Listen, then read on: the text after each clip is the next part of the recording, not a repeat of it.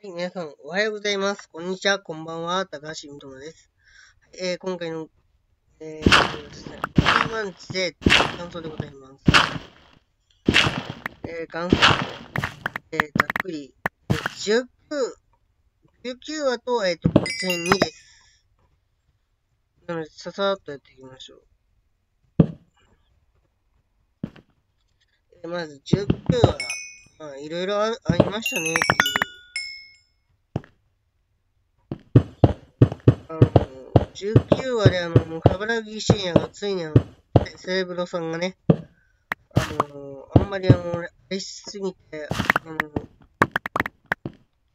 あれするよっていう回なのですがね、まあ、結局あの、セレブロさんは、セレブロでいいのかなあの、取り付いてたのをやめて、あの、その、公営軍の人に取り付くっていう回だったんですよ。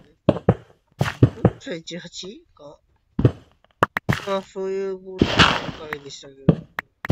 まあ、うのしさはそうだろうなって思いましたけどね。そうですね。この展開がどうなっていくのやらっていう感じですかね。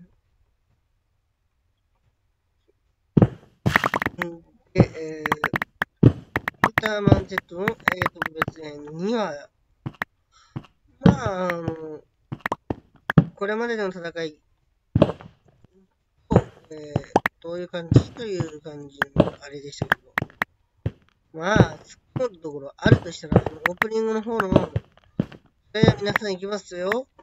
言ってその後のオープニングが入るの、あれはずるいと思いました。小西さんは、あれはずるすぎるよと思いながらの、出勤日にし見てました。ちなみにこの動画、えー、撮影日曜日です。次の日です。仕事振り休してもらったんで、あの、行ってきたんですよね、昨日。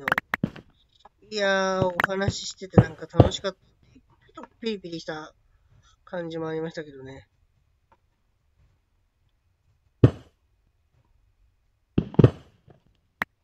まあ、とにかく、あの、